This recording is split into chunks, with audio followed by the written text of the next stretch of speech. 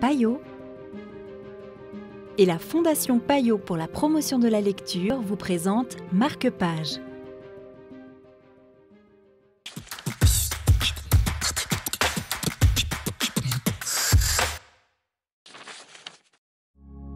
Bonjour et bienvenue dans Marque-Page.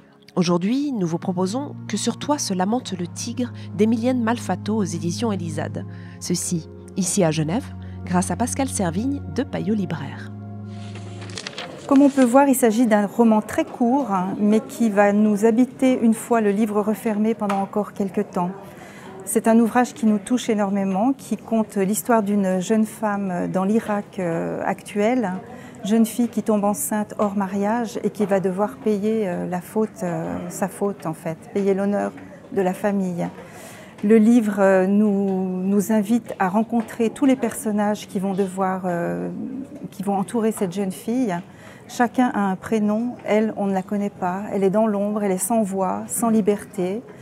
Mais par contre, l'ouvrage se lit facilement parce qu'il est euh, entrecoupé de quelques récits de l'épopée de Gilgamesh, hein, ce qui donne un, rythme au livre hein, et ce qui nous rappelle que l'Irak a, eu une civilisation très riche. Hein.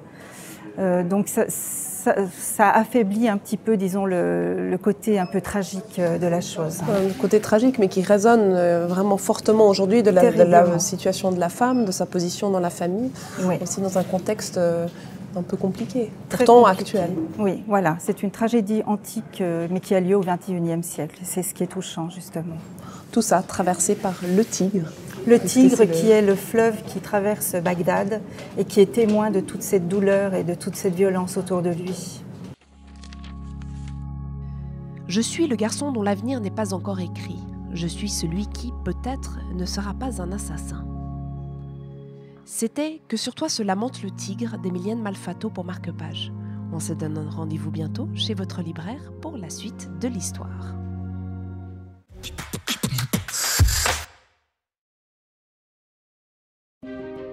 Payot et la Fondation Payot pour la promotion de la lecture vous ont présenté Marque-Page.